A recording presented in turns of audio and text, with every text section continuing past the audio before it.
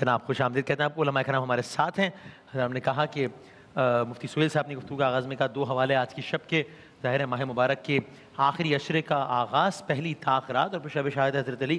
ہم نے ایک عنوان سے بات کی وہاں اور اب دوسرے عنوان سے یہاں بات کرتے ہیں۔ جناب قبلہ مفتی سہیل صاحب آپ سے آغاز کرتے ہیں۔ بسم اللہ الرحمن الرحیم۔ اللہم صلی علی سیدنا و مولانا محمد وعلا آلہ و اصحابہ و بارک وسلم یہ بھی ذکر سے جھوم جاتا ہے۔ ہاں۔ صحیح. آج ہم بات کر رہے ہیں مولا علی المرتضی رضی اللہ تعالی عنہ کی اور وہ خوش نصیب ہستی کہ جنہوں نے آنکھ کھلی۔ اچھا یہاں بچہ پیدا ہوتا ہے تو وہ اپنے باپ کا منہ دیکھتا ہے ماں کا منہ دیکھتا ہے چاچا ماموں کا منہ دیکھتا ہے۔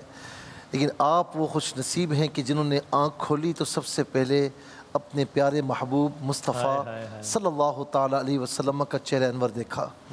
اچھا پھر بچہ جب لڑکپن کی حالت میں آتا ہے نا تو اپنے والد کی اور اپنے چاچا کی جو سراؤنڈنگ میں ہوتے بڑا بھائی ہے ان کی عادات کو سیکھتا ہے۔ لیکن مولا علی المرتضی رضی اللہ تعالیٰ وہ نفوس سے وہ وہ ذات قدسیہ ہیں۔ کہ جنہوں نے اگر عادات سیکھیں تو پیارے مصطفیٰ صلی اللہ علیہ وسلم کی سیکھیں۔ اسی طرح اسی لیے فرمایا نا کہ مرتضی شیر حق اشجع الاشجعین باب فضل و ولایت پہ لاکھوں سلام۔ شیر شمشیر حق شاہ خیبر شکن پرتوے دست قدرت پہ لاکھوں سلام۔ یہ وہ ہیں۔ شاہ مردہ شیر یزدہ قوت پروردگار لا فتح اللہ علی لا سیف اللہ ذوالفقار۔ آپ وہ ہیں کہ جنہوں نے ٹوٹ کر حضور نبی کریم علیہ السلام سے محبت کی کہ جب آقا علیہ السلام نے اعلان فرمایا اور اس وقت کوئی ساتھ نہیں آ رہا مولا علی المرتضی رضی اللہ تعالیٰ کی اتنی عمر نہیں ہے۔ لیکن آپ کھڑے ہو گئے کہ یا رسول اللہ صلی اللہ علیہ وسلم کوئی ہے یا نہیں؟ لیکن یہ علی آپ کے ساتھ کھڑا ہوا ہے۔ علی رضی اللہ تعالیٰ عنہ ڈھال بن کر کھڑے رہے۔ جس وقت سب مخالف تھے یہ شروع اسلام کی بات ہے۔ اچھا پھر حضور نبی کریم علیہ السلام دیکھیں محبت یک طرفہ نہیں ہوتی۔ ہے محبت ہمیشہ دو طرفہ ہوتی ہے۔ وہی محبت مکمل ہوتی ہے۔ مولا علی المرتضی رضی اللہ تعالیٰ عنہ نے محبت کی تو آگے سے جواب کیا آتا ہے کہ من احب علی فقط احبنی من احبنی فقط احب اللہ۔ میرے مصطفیٰ کہاں سے کہاں تک لے گئے کہ جس نے علی سے محبت کی اس نے مجھ سے محبت کی اور جس نے مجھ سے محبت کی اس نے اللہ تبارک و تعالیٰ سے محبت کی اور جس نے علی سے بغض رکھا اس نے مجھ سے بغض رکھا اور جس نے مجھ سے بغض رکھا اس نے اللہ رب العالمین کی بارگاہ میں بغض رکھا۔ اور یہ بھی فرمایا کہ اللہم والی من والا ہو اللہ اکبر۔ من کند مولا فہذا علی مولا کہ جس کا میں مولا ہوں جس کا میں آقا ہوں سن لو کہ اس کا علی بھی مولا ہے اس کا علی بھی آقا ہے۔ اور فرمایا کہ مومن علی سے بغض رکھ نہیں سکتا۔ اور منافق یہ معیار دیا جا رہا ہے اچھا۔ یہ کرائٹیریا دیا جا رہا ہے اور منافق علی سے محبت رکھ نہیں سکتا ہاں، ہاں۔ یہ وہ علی ہیں کہ جنگ بدر میں عدبہ بن شیبہ ہو عدبہ ہو یا شیبہ ہو یا ولید بن عدبہ ہو آپ نے کسی کا خیال نہیں فرمایا اور ولید بن عدبہ کو واصل جہنم فرمایا جنگ احد میں جب ایک دم بے چینی پھیلی اس وقت مولا علی رضی اللہ تعالیٰ عنہ جہاں اور صحابہ تھے کچھ وہاں مولا علی المرتضی رضی اللہ تعالیٰ عنہ حضور نبی کریم علیہ السلام کے ساتھ تھے۔ جنگ خندق میں عمر بن عبد ود جو ایک ہزار سواروں کے برابر مانا جاتا تھا اس کو واصل جہنم فرمایا۔ اور جنگ خیبر میں تو کیا بات ہے کہ جب اس کے سامنے آئے مراحب کے سامنے تو اس نے کہا قد علیمت خیبر انی مراحب شاک الصلاح بطل مجرہ پورا خیبر جانتا ہے کہ مجھ سے بڑا بہادر کوئی نہیں ہے۔ اچھا۔ آپ نے فرمایا ان الذی امی ان الذی سمت امی حیدرہ کلیفی خوابات کریح المنظر۔ فرماتی ہے کہ میں وہ ہوں کہ جس کی ماں نے اس کا نام حیدر رکھا ہے۔ میں وہ شیر ہوں جب حملہ کرتا ہوں تو کوئی جان بچا نہیں سکتا۔ مولا علی رضی اللہ تعالیٰ جب شہید ہوئے نا شہید ہونے سے پہلے خواب دیکھا۔ حضور نبی کریم صلی اللہ تعالیٰ علیہ وسلم کو عرض کی یا رسول اللہ یہ امت نظام میں آ چکی ہے آپ دعا کیجیے۔ تو فرمایا کہ علی تم خود دعا کرو۔ تو عرض کی یا الہ العالمین مجھے بہتر لوگوں میں پہنچا دے۔ اور اس کے بعد امام حسن اور امام حسین رضی اللہ تعالیٰ عنہ کو وصیت فرمائی۔ نماز پڑھانے کے لیے جا رہے ہیں بدبخت ابن ملجم نے حملہ کیا۔ لیکن آپ نے کیا کیا؟ آپ نے بوقت شہادت یہ فرمایا۔ دیکھیں یہ بہت بڑی بات ہے کہ فز تو برب الکعبہ رب کعبہ کی قسم کہ میں دنیا سے کامیاب ہو کر جا رہا ہوں۔ سبحان اللہ کیا کہنا ہے؟ کیا کہنا ہے؟ جناب مفتی عامر بسم اللہ الرحمن الرحیم۔ مولا علی کی تو شخصیت کے بے شمار حوالے ہیں۔ مطلب صحابی رسول بھی ہیں داماد رسول بھی ہیں عاشق رسول بھی ہیں خلیفہ رسول بھی ہیں۔ دوسری طرف آپ کے کمالات کو دیکھتے ہیں تو آپ شجاع بھی ہیں۔ آپ جو ہے وہ عبادت اور ریاضت اور سخاوت کے پیکر بھی ہیں ماہر قرآن بھی ہیں۔ یعنی خوبیوں کا مجموعہ اگر آپ۔ کہیں نا تو وہ علی ہیں۔ جس طرح بھی ہم دیکھتے ہیں۔ اور سب سے بڑھ کر وسیم بھائی اہم بات اس میں یہ ہے کہ ہم کہتے ہیں کہ فلاں شخص بہت بڑا عالم ہے۔ اس نے جو ہے وہ علم کے معاملے میں اتنی حدیثیں پڑھی اتنا کمال حاصل کیا اور ہم اس کو تاج الاولیاء تاج العلماء کا لقب دیتے ہیں اس کو مفتی اعظم کا بھی لقب دیتے ہیں لیکن ہم دیتے ہیں۔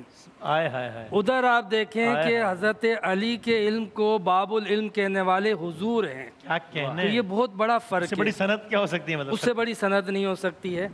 پھر ہم کسی کی بھی تعریف کرتے ہیں تو کسی کو بہاد- بہادر جانتے ہیں۔ لیکن جس کو اللہ کے رسول بہادر کہیں اور شجاعت کا لقب دے دیں تو یہ بہت بڑا کمال ہوتا ہے۔ ہم فلاں کے بارے میں کہتے ہیں یہ اللہ سے پیار کرتا ہے، یہ نبی کریم علیہ السلام کا سچا عاشق ہے۔ لیکن خود زبان رسالت سے جن کے لیے یہ ورڈ نکلتے ہوں کہ علی وہ ہے کہ جس سے اللہ بھی پیار کرتا ہے اور اس کا رسول بھی پیار کرتا ہے۔ علی وہ ہے کہ جس سے جو ال- اللہ سے بھی محبت کرتا ہے اس کے رسول سے بھی محبت کرتا ہے۔ تو یہ سند ہو جاتی ہے۔ میں کہوں میں اللہ کا بندہ ہوں اور اللہ سے پیار کرتا ہوں یہ دعویٰ ہے۔ ہاں۔ اور جب مصطفیٰ کسی لیے کہیں تو وہ دلیل ہے دعویٰ نہیں ہے۔ وہ دلیل ہوتی ہے۔ تو حضرت علی کے جو فضائل ہیں اس کو ہم فقط اس اعتبار سے بھی دیکھیں نا کہ ہر فضیلت کی صنعت آقائے دو جہاں صلی اللہ علیہ وسلم عطا فرما رہے ہیں۔ اور وسیم بھائی یہ جو ہم حضرت علی کی جو فضیلت بتا رہے ہیں یہ محض حصول برکت کے لیے نہیں۔ حصول برکت کے لیے محض نہیں برکتیں تو ہیں ہی کہ علی کا ذکر ثواب علی کو تکنا ثواب۔ مگر ہم اس لیے بھی ذکر کرتے ہیں کہ آج کل ہم کسی کو بھی ایسے ویسے کو بھی اپنا آئیڈیل بنا لیتے ہیں۔ تو جس شخصیت کے اندر اتنے کمال ہوں جس شخصیت کے اندر اتنی خوبیاں ہوں اور اس کے کمال اور خوبیوں کی سند اللہ اور اس کا رسول عطا کر رہے ہوں۔ تو پھر کیسے ہم اس شخصیت کو اپنا ہیرو نہ مانیں اپنا آئیڈیل نہ بنائیں اور اپنی زندگی کا نصب العین ان کی سیرت کو ان کے کردار کو ان کی سوچ اور ان کی فکر کو کیوں نہ اپنائیں؟ سبحان اللہ کیا؟ میں ایک جملہ کہوں گا۔ سیدنا صدیق اکبر رضی اللہ تعالیٰ عنہ اور مولا علی المرتضی رضی اللہ تعالیٰ عنہ کے ماں بہن۔ ایک جملہ ہے کہ سیدنا صدیق اکبر رضی اللہ تعالیٰ عنہ نے فرمایا کہ علی تم وہ ہو کہ جن کے بارے میں حضور نبی کریم علیہ السلام نے فرمایا کہ جس کو علی جنت میں لے کر جائیں گے وہ جائے گا۔ اچھا۔ تو مولا علی المرتضی رضی اللہ تعالیٰ عنہ نے فرمایا کہ سن لو آپ کے متعلق بھی یہ ہے کہ جس کو آپ پرمٹ دیں گے میں اسے جنت میں لے کر جاؤں گا۔ کہنا ہے جناب فغانی صاحب، کیا کہنا ہے بسم اللہ الرحمن الرحیم۔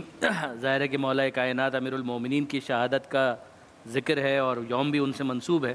تو میں تعزیت پیش کرنا چاہوں گا۔ اس حوالے سے اعظم اللہ وجور وجورنا وجورکم بے مصابنا بے امیر المومنین علی ابن ابی طالب علیہ الصلاۃ وسلام اور ظاہر ہے کہ مولا کائنات کے حوالے سے جو گفتگو کی گئی ہے، اسی کو اگر میں آگے بڑھاؤں تو مولا کائنات نے پہلی زیارت اس دنیا میں آ کر پیغمبر اکرم کی کی۔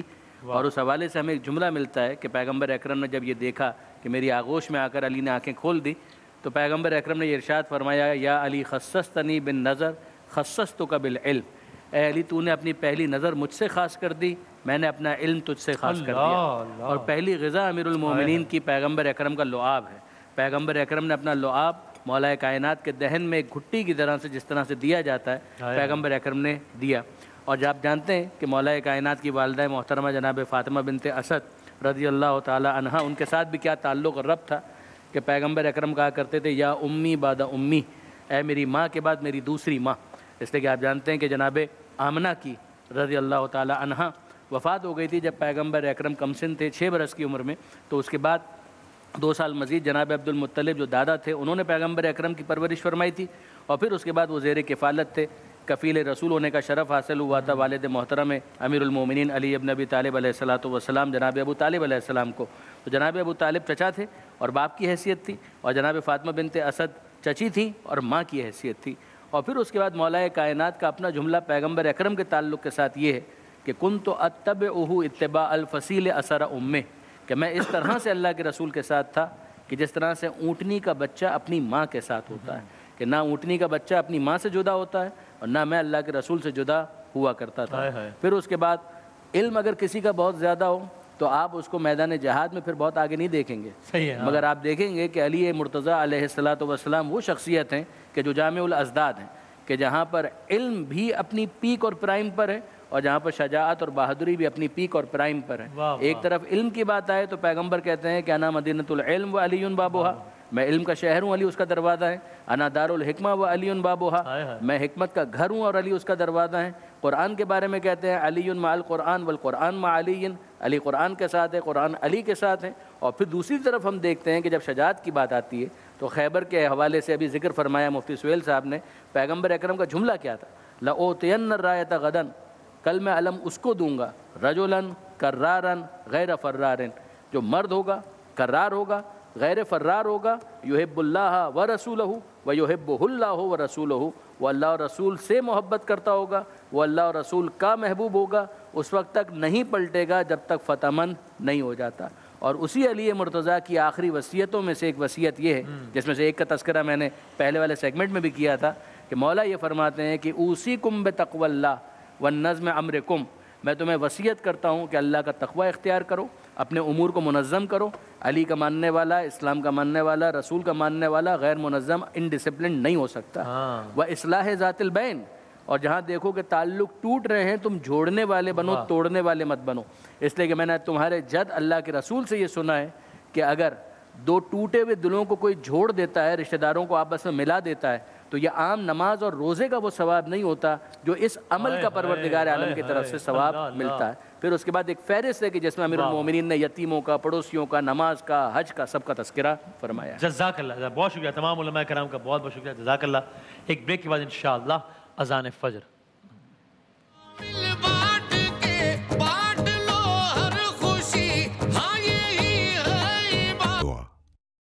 وبصوم غد نويت من شهر رمضان میں ماہ رمضان کے کل کے روزے کی نیت کرتا ہوں۔ اللہ اکبر اللہ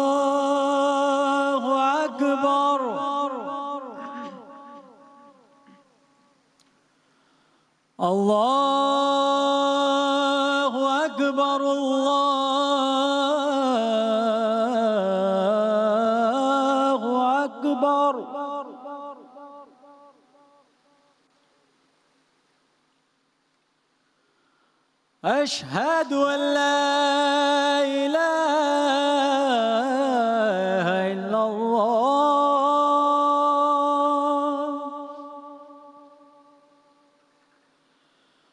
أشهد أن لا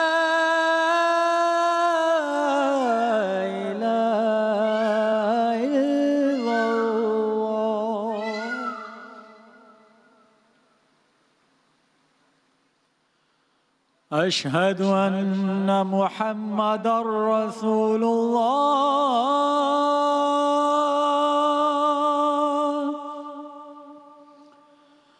أشهد أن محمدا رسول الله. حي على الصلاة.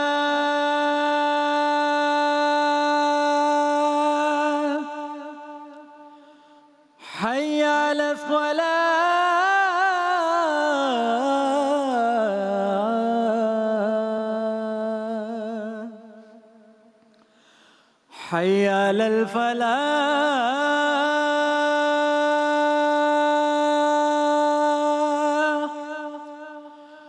حي على الفلاح.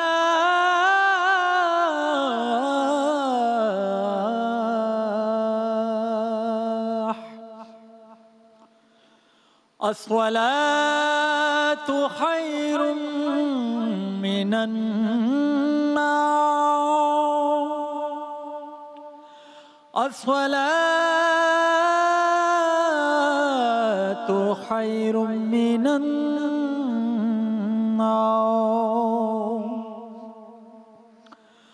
الله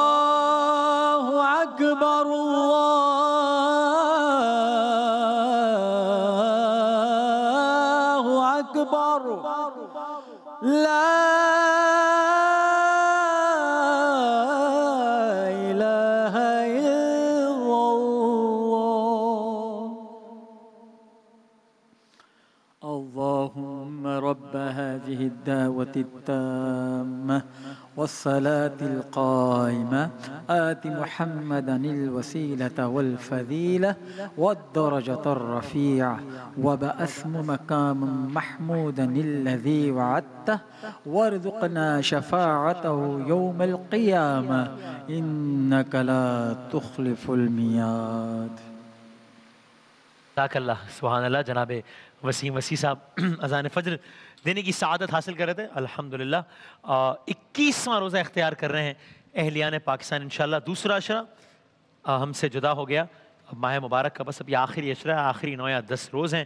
تو یوں آخری عشرے کی پہلی طاق رات بھی ختم ہو گئی اور شب شہادت حضرت علی اور شب قدر کے عنوان سے آج کی ہماری جو محفل تھی، یہ بھی اپنے اختتام تک پہنچی۔ انشاءاللہ ہر تاخرات میں ہم آپ کے ساتھ خصوصی نشریات کے ساتھ حاضر ہوں گے۔ آپ سب سے گزارش کہ یہ ظاہر دعاؤں کی قبولیت کی گھڑی ہے تو پلیز ہم سب کو ضرور دعاؤں میں یاد رکھیے گا آپ، ہمارے فلور انچارج عمران صاحب جن کا انتقال ہوا۔